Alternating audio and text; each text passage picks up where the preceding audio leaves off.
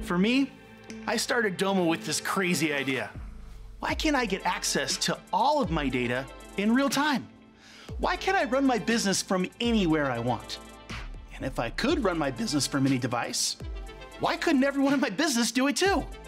And what about my partners, my vendors, my customers? Why can't modern BI be for everyone?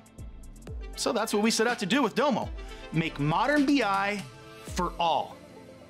But BI is only as good as the underlying data. We knew from the beginning that in order to make Domo powerful, to actually make the tool useful, we had to find a way to unlock the data, and I mean all the data. And at the heart of modern BI is data.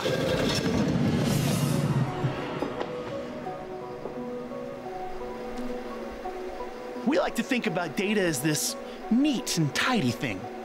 Endless banks of servers, trillions of rows of ones and zeros, just marching along. Lights that blink that everything's okay. Doors that hiss when they open. Problem is, that couldn't be further from reality. And cut.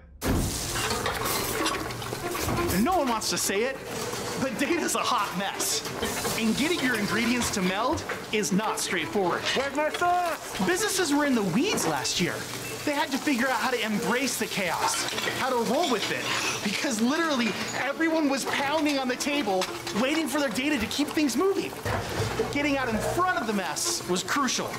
To survive, you needed speed, confidence, and agility. I mean, for the questions that we knew to ask, like what's my revenue? What's my current-ish inventory?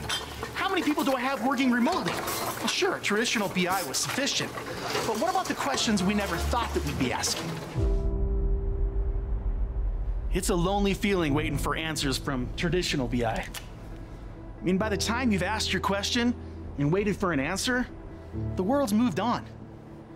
Even for people at the front of the line, the analysts, the data scientists, they're still not getting it fast enough. The thing that modern BI does different is this. No more waiting. No more not being qualified or important enough to get the answers that you need. And if you don't have to wait, if you can get it for yourself, well, then any kind of question from literally anyone in your organization is totally fair game. With modern BI, everyone gets a piece.